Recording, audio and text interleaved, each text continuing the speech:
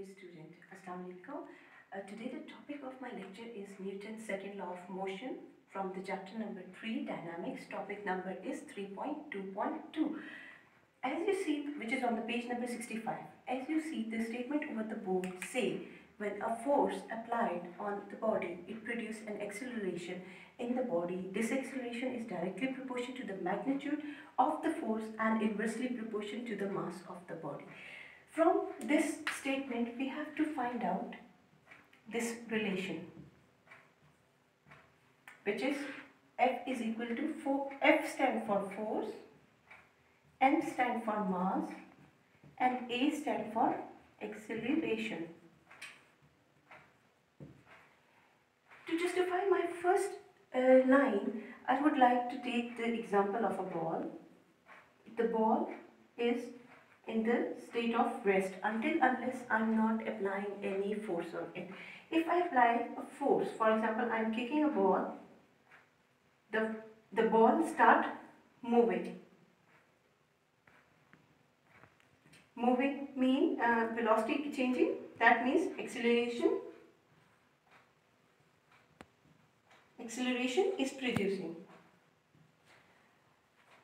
So, the first line statement justifies when we apply a force, the acceleration, it produces an acceleration in the body or an object. For the second line, the acceleration you see on the board, that is, this acceleration is directly proportional to the magnitude of the force, which I can justify with the example of, if I am taking a mass in this example as a constant value. For example, I am taking a stone, stone of 1 kg, stone, two stones of 1 kg, 1 kg. Both the mass of the stone is the same. Here I am taking force in the form of man and here I am taking force in the form of kid. The man is throwing the stone and it will fall it will drop here somewhere and the kid will throw the stone and it will go somewhere here. As you see, both the mass of the object is the same. It was constant. But the difference was in the force. The man force was greater. You see, it produces different velocity which produces greater acceleration greater acceleration. Here the force was less, so the less acceleration is produced. Either way velocity, it, um, here velocity is also produced, but the acceleration is smaller compared to the force. So that shows that if the force uh, it, for the, this acceleration is directly proportional to the magnitude of force. Here in the first statement we have taken force greater and acceleration was also greater.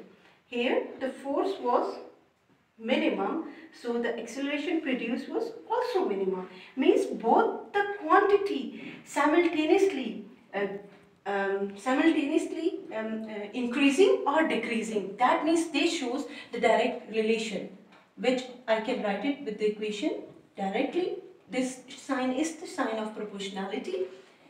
A stand for acceleration directly proportional to magnitude of a force this example justified our uh, for this, this second statement of the uh, second line of the statement. Now, this acceleration is inversely proportional to the mass of the body. How? For that I can take the same example but in first example I have taken mass as a constant. Now here I am taking force as a constant quantity.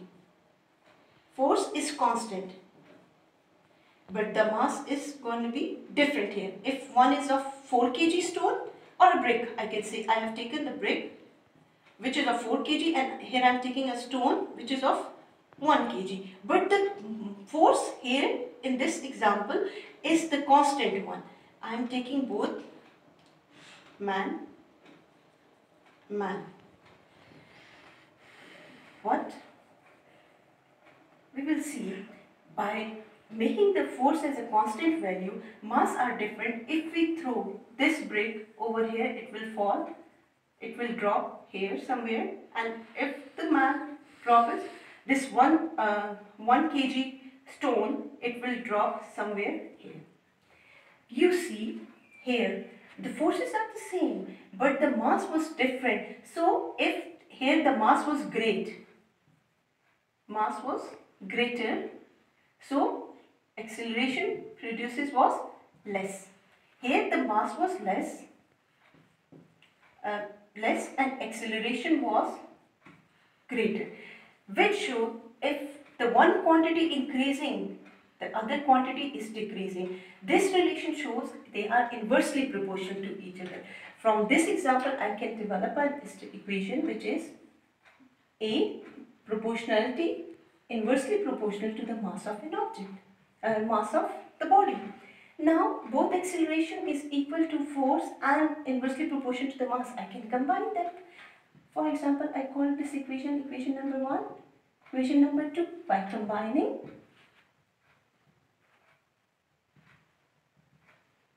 I'll get F over m which I call equation number 3.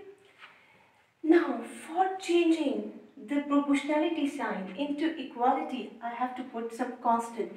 So in this equation, in Newton equation, we take a constant as a k, where we call proportionality is equal to k. If I put, instead of proportionality, equality k, f over m, for that, I have to find out what is the value of k. For finding the value of k, I will rearrange this, this equation and this equation will come like if m is multiplying and dividing here, so we will multiply m. k, f is multiplying here, it will come down, it will get, yeah, divided by f on the both side. We get the equation k is equal to ma over f the Newton definition, we know one, if 1 Newton force is applied on a mass of 1 kg, it produces acceleration of 1 meter per second square. So if you see Newton is the unit of force, kg is the unit of mass and meter per second is the unit of acceleration. So we can put the value in it. k is equal to 1 for the mass into one for the acceleration and one for the force.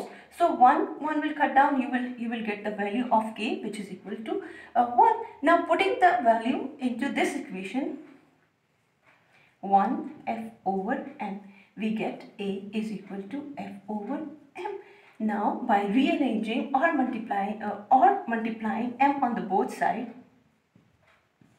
we get f is equal to ma which is Newton's second law. Newton's second law tells us when the larger the mass, less will be the acceleration produced. When we apply um, force on the larger mass, the acceleration will be less. If we apply a force on the smaller mass, the acceleration will be greater. Thank you very much.